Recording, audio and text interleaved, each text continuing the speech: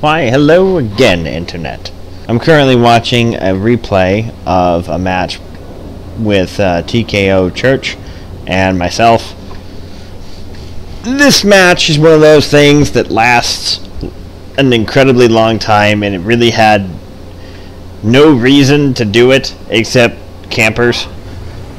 So, it, as you'll be able to see, they'll no, they'll be camping uh, the A1 B line or A1 and B1 for a very large portion of the map match rather. Um, we're not gonna pay attention to this because I'm a giant buffoon and I drive around like a moron for most of the uh, beginning of the match. Uh, you can see Church in his T10 is going up the way the heavies are supposed to go. Don't know what this guy over here is doing. Uh, let's see here. So, skip forward. I'm trying to spot for everybody and not get flanked by these two guys over here. So let's skip forward a little bit more. Now, see this IS-6 and the 110 over here, they've been kind of caught out. So I'm going to do foolishly while this jackass late breaker uh, is watching me. I'm to go over here and beat the supposedly beat the tar out of this guy, right? So I get about right here. I think that's when I get no, it's right after I shoot him.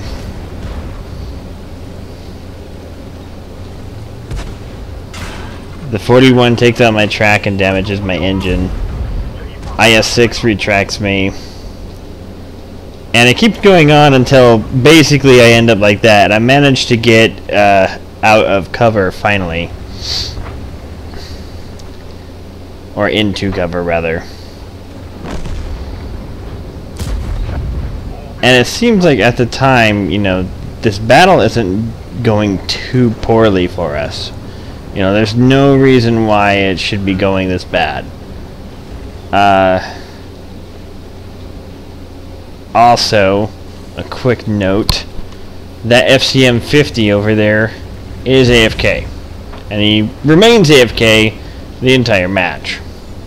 So, thank you, uh, Papa Gallium, for being a total and complete asshat.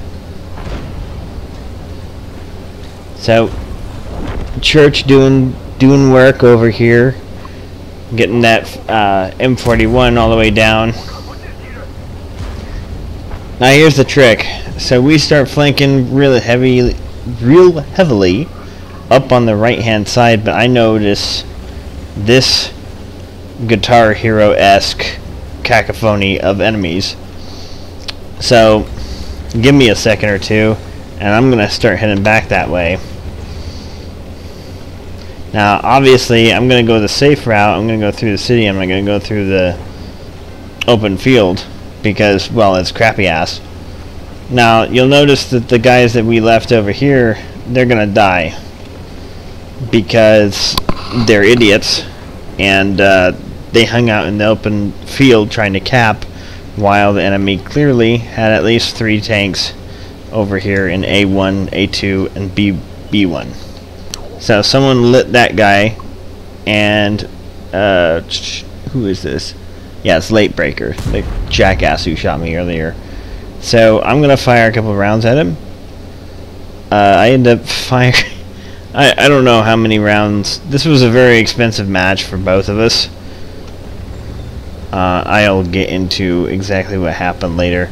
I can't remember the statistics off the top of my head as to how much damage either one of us did, but I do know we did a significant amount of damage at this point. And I'll show you why. So, this M103, he's been a tool. So I push up to engage the M103. I get spotted by the Panther 2, which is over here uh, someone else, I think it was the Comet, bounced off my turret. I fired the Panther 2 thinking that was him. It was not. So, Panther 2 fires, hits me, hits me really good, I'm down to 49 HP. So our Sioux 12254 decides it would behoove him to run up and charge the guy point blank and you know risk the the onslaught of the guys over here. So now we lost our Mod 1 and the Su-122 for one tank. So that was great. So now it's 8 to 10. Alright, so we got two scouts, 49 HP WZ 120, myself, and our T10 who is full health, uh, piloted by TKO Church. So this is, uh, you know, everyone's complaining about, oh, it's your fault, you didn't spot, oh, you're so, uh, and being all uppity and whatnot. So he's going to try and spot, and he gets pooped on. I fire around. I miss the jackass again. I I I have it this time.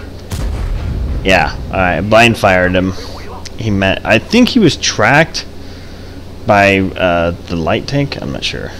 And then, surprise! The Su-122 comes up.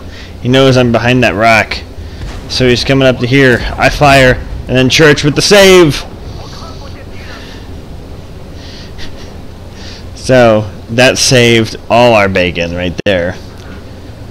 Uh, the M103 decides it would behoove him to cap. But Church has problems right now. He's got the St. Emile to deal with. So I'm trying to help him with the St. Emile rather than attack the M103. I do think I fire at this guy to try and get his attention. So he doesn't get flanking shots on Church. Now, the man battle between St. Emile and Church is real.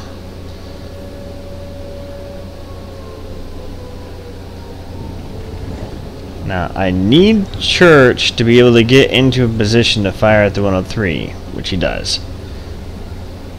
As long as I can keep him lit, Church can fire on him for days.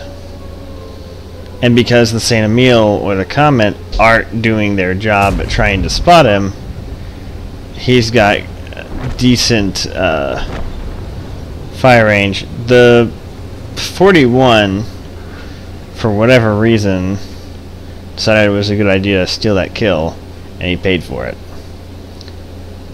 And so now it's just the two of us. Against four perfectly healthy tanks. Or ish. You know, the Panther 88 got messed up a little bit, and the St. Emile's at half health. Most of this, right now, I was going to start, like, going after, uh, and, and helping Church out. But the problem is, we don't know where the other tanks are. But I feel, whatever, it's worth it, I need to go. And that's when they start capping again. And so I start heading back. Uh, I don't know what to do at this point. On the one hand, Church needs my help. On the other hand, I need to reset the cap.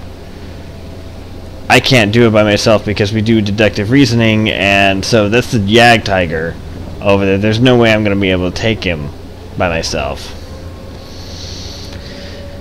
So I got to help him kind of with this comet. Now, let's see here. I see him. I know where he's going. Put auto lock so I know where exactly like the the horizontal axis of where he's gonna be. And then I take a shot, hits him. I've left him with enough so that I know Church can kill him. Alright. It's at like 67% at this point when I decide, okay, I need to get over here. Church needs to spot. Church tells me something very pertinent about this point, though. At this point, I believe he only has two heat rounds and two HE rounds. Alright, he fires.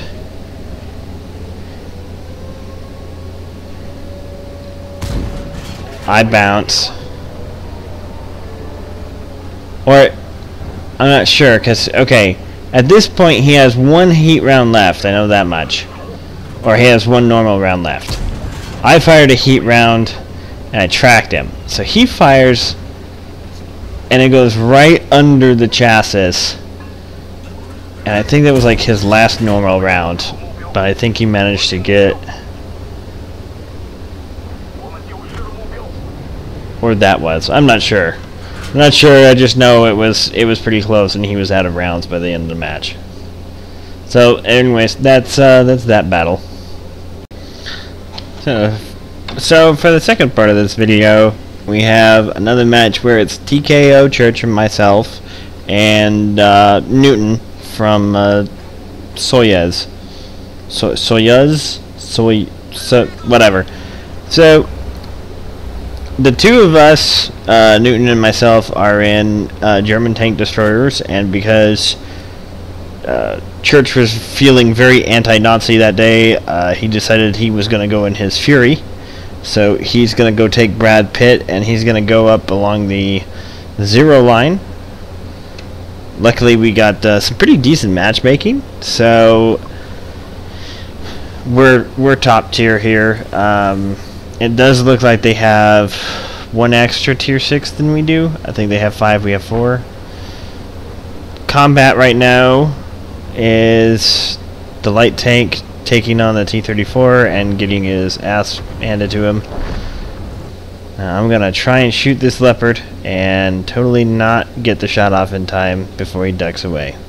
But I didn't get spotted yet because Dicker Max uh, camo value totally OP. Uh, oh, nope, I got spotted. Back up. Back my fat ass up.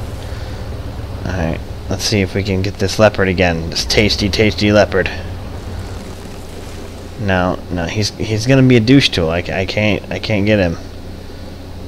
He's he's poking his little face out, and there's an AMX 40. Can I see his little? Nope, right over the top.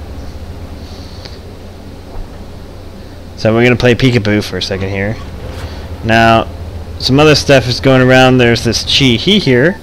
Tasty little Chi-He. How you doing, Chi-He? Ooh, get set on fire, Chi-He. Ooh, ooh, tasty Chi-He.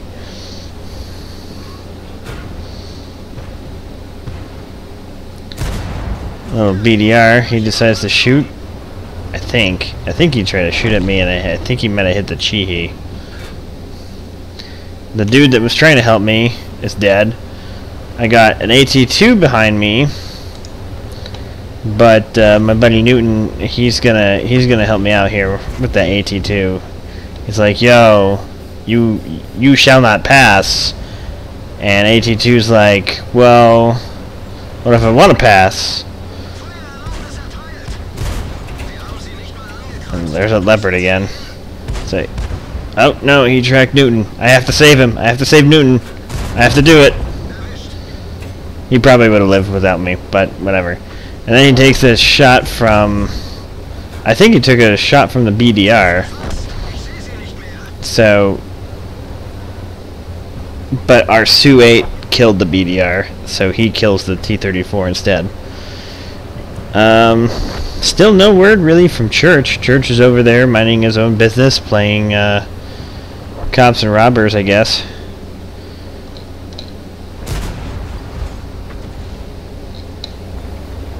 So, off he goes.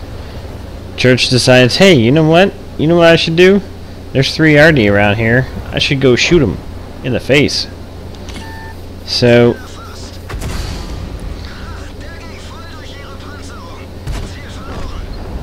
Alright, so now it's 2-2. Yo, uh, myself and Newtin both have two kills. Church has none. Church is totally slacking, and we tell him so in chat. Now there's this little light tank, this leopard. This leopard that has been pestering me the entire thing. He decides he's going to get the drop on me, but no. No, leopard. Screw you. Screw you and everything you stand for. Meanwhile, Newtin is getting in position.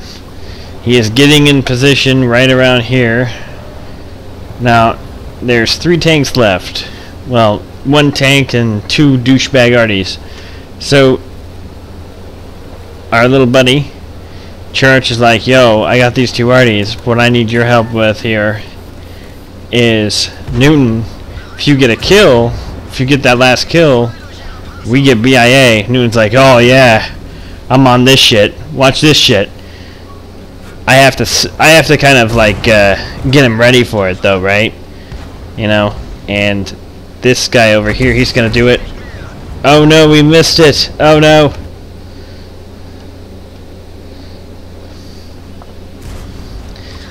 So I hit it. I hit it. Now, he hits me. I'm loading up again. Back up. Hit him on the top. Now watch this. Watch this right here. That's right. I wish I had slow-mo.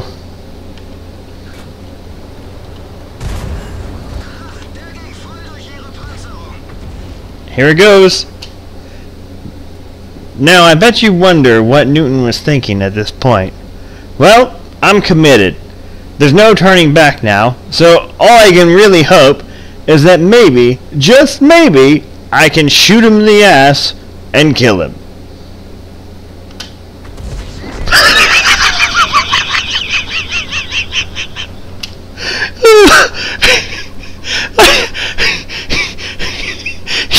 Got the kill, but you have to live in order to get BIA, so he still didn't get it.